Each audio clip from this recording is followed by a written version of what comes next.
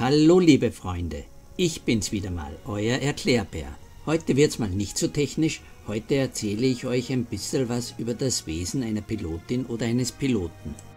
Der gemeine Fußgänger stellt sich unter einem Piloten ja etwas, ich sage mal, abgehobenes vor. Hinter mir wird gerade die Piste gereinigt und das bringt mich auch schon zum Kern der Sache.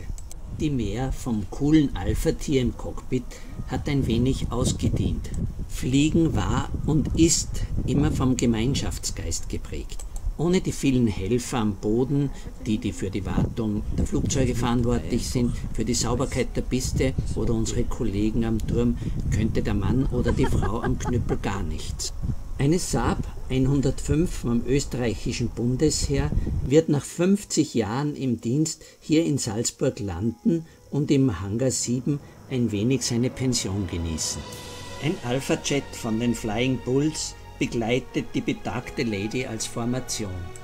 Und weil das Ganze für die angereisten Medienvertreter ein wenig was hermachen soll, wird die freundliche Formation zur Übung von zwei Eurofightern über Salzburg abgefangen und zur Landung gezwungen.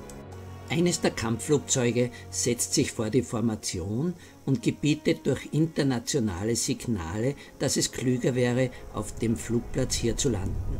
Der zweite Eurofighter sichert das Ganze von hinten ab.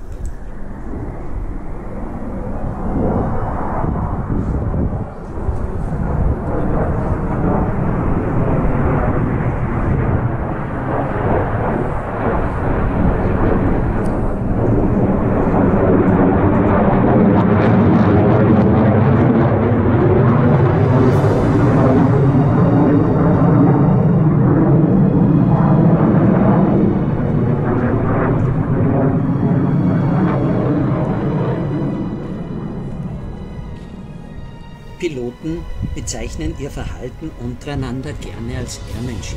Das ist mehr als nur Rücksichtnahme auf Kollegen untereinander. Es ist eine allgemeine Lebenshaltung, sich in ganz vielen Bereichen verantwortungsvoll zu benehmen. Es ist in vielen Clubs und auch bei Fluglinien Teil der Ausbildung, einen solchen Kodex anzustreben. Und so hört man im Pilotenraum ganz oft den Satz, ich bin vielleicht nicht der beste Pilot, aber ich werde versuchen, heute der beste Pilot zu sein, der ich sein kann. Und nach einem Flug gehen viele Piloten sehr selbstkritisch daran, zu schauen, wo man Fehler gemacht hat und wo man das nächste Mal vielleicht noch besser sein kann. In der Zwischenzeit haben die Saab und der Alpha Jet den Aufforderungen der beiden Eurofighter Folge geleistet und sind auf der Piste 3.3 des Salzburger Flughafens gelandet und rollen nun in Richtung Apron East von Hangar 7.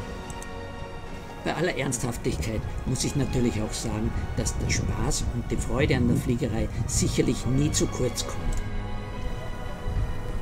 So mancher Lebenspartner oder auch die Kinder lassen sich anstecken von der Begeisterung, von der Leidenschaft für die Fliegerei wobei so Wetterbedingungen wie heute die Familienbegeisterung schon auf eine harte Probe stellen.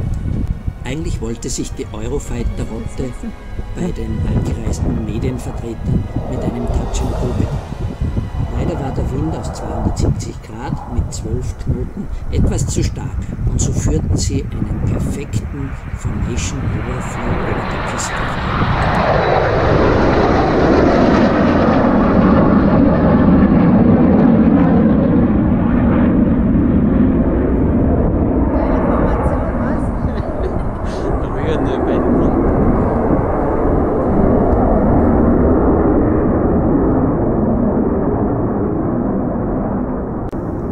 Für die einen war dieses Spektakel cool, für die anderen eher kalt. Hier steht sie also, das neueste Ausstellungsstück für den Hangar 7. Und ich verabschiede mich bis zum nächsten Mal. Euer Erklärbär.